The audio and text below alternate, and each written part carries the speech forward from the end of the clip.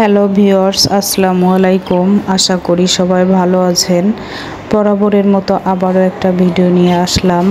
সামনে breeding season তাই আপনাদের পাখিকে সুস্থ রাখতে হবে এবং আপনাদের পাখি ঠিকভাবে যাতে ডিম ডিম বাচ্চা করতে পারে, সেই দিকে খেয়াল রাখতে হবে। সামনে ব্রিডিং সিজন চলে আসছে। এই ব্রিডিং সিজনে আপনার পাখিকে সুস্থ রাখতে হবে, যাতে পাখিকে কোনো রোগে আক্রান্ত না করতে পারে। পাখি যাতে সুন্দরভাবে ডিম বাচ্চা করতে পারে, সেই দিকে খেয়াল রাখতে হবে এবং পাখির শরীরে কোনো সমস্যা আছে কিনা সেইগুলা খেয়াল রাখতে হবে এবং কি ওষুধ খাওয়ালে আমাদের পাখির শরীর সুস্থ থাকবে সেই সেই বিষয়ে আমরা আজকে কথা বলব। মাঝে মাঝে দেখা যায় যে কিছু লোকে প্রশ্ন করে যে, আমার বাচ্চা পাখি মারা যাচ্ছে, কি কারণে সেই বিষয়েও আজকে আমরা কথা বলব।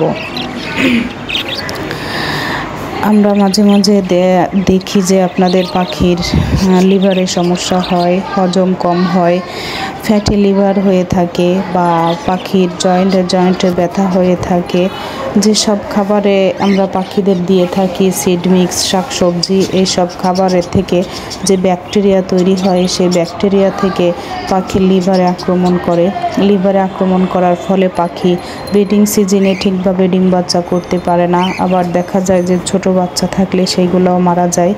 এজন্য কি সমস্যার কারণে বা কি খাওয়ালে আমাদের পাখিগুলো সুস্থ থাকবে?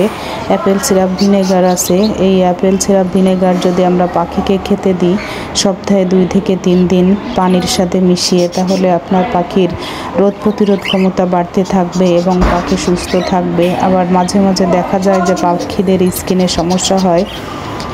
সেই স্কিনে সমস্যা হলেও পাখিরা জিমাতে পারে এবং ডিম বাচ্চা কম করতে পারে।